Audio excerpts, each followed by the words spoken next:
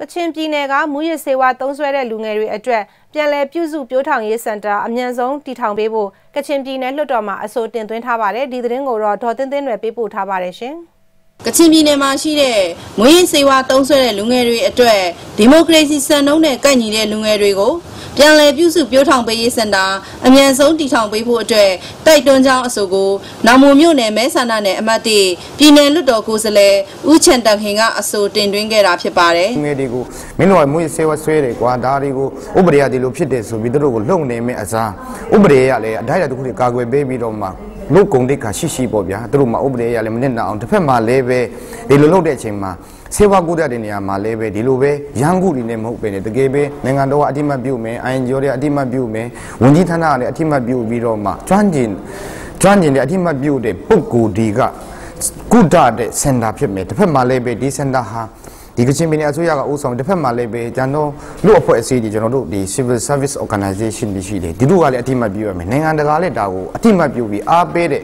ဒီဒီစင်တာတစ်ခုရှိမှသာရင်ကျွန်တော်တို့လက်ရှိကျွန်တော်ခံစားနေရတော့ကြုံတွေ့နေရတဲ့ဒါမွေးဆေးဝါးပြဿနာထဲကနေကျွန်တော်လူငယ်တွေဟာရုံထွက်ပြီးတော့မှသူတို့ဟာနိုင်ငံတော်အတွက်ဒါဓာတ်ကောင်းယတနာလေးတွေဖြစ်ဖို့ ဦးချန်တန်ခင်အဆိုနဲ့ပတ်သက်ပြီးလွတ်တော်မှာဆွေးနွေးရန်ထောက်ခံခဲ့တာကတော့ဖက်ကန့်မြို့နယ်ပြည်သူ့လွတ်တော်ကိုယ်စားလှယ်ပဲဖြစ်ပါတယ်ဦးချန်တန်ခင်ရဲ့အဆိုကိုထောက်ခံရခြင်းကကျွန်တော်ဒီအဆိုနဲ့ဆက်နွယ်တဲ့အဆိုတစ်ခုကိုကျွန်တော်တို့စုထပုံမှန်အစည်းအဝေးဒုတိယနေ့မှာကျွန်တော်တင်ပြခဲ့ပြီးဖြစ်တယ်အဆိုပြုမှအဲ့ဒါကိုအဆိုကိုအတည်ပြုခဲ့ပြီးဖြစ်တယ်အဲ့ဒါဘာလဲဆိုရင်ကချင်ပြည်နယ်အတွင်းတရားမဝင်မူစီဝါတားဆီးနေတဲ့ရေးကိုဆောင်ရွက်ဖို့ နဲ့မူစီဆွဲလူငယ်တွေကိုပြန်လည်ပြုစုပြုထောင်တဲ့အချိန်မှာချင်ပြည်နယ်အစိုးရလူမှုရေးဖွဲ့စည်းဗဒါရေးဖွဲ့စည်းမြန်မာနိုင်ငံရေးတပ်ဖွဲ့လူမှုရေးဖွဲ့စည်းတွေအားလုံးလက်သွဲဆောင်ရွက်ဖို့ဆိုမှကျွန်တော်အဆိုတင်ခဲ့ဘူးတယ်အဲအတိုင်းပဲအဲအဆိုတင်ခဲ့တယ်ဒါပေမဲ့ကော်မတီဖွဲ့စည်းထားမှုလည်းမရှိသေးဘူးဆောင်ရွက်မှုလည်းမရှိသေးပါဘူးဒါပေမဲ့လူမှုရေးအသင်းဖွဲ့တွေဗဒါရေးအသင်းဖွဲ့တွေကတော့တနိုင်တစ်ပိုင်းလုပ်နေကြတာဖြစ်တယ်ဝလန်တီယာအနေနဲ့